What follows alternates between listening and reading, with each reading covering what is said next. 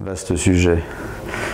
Euh, je pense qu'il l'est par son idée d'universalité qu'il devrait euh, conserver, ce, rapprochement et, cet attachement à la nature. Euh, maintenant, rien sur cette terre, vous le savez, ne sera éternel, donc il sera, en tout cas, il durera plus longtemps que moi, plus longtemps que la plupart de, de nos contemporains. Il a vécu déjà 1300 ans, bon, je crois qu'on peut être sûr que dans quelques centaines de milliers d'années, euh, si cette Terre est raisonnable et qu'elle continue à porter euh, l'humanité, il sera toujours là euh, pour, ben, comme étendard de, de ce qui a été une grande civilisation.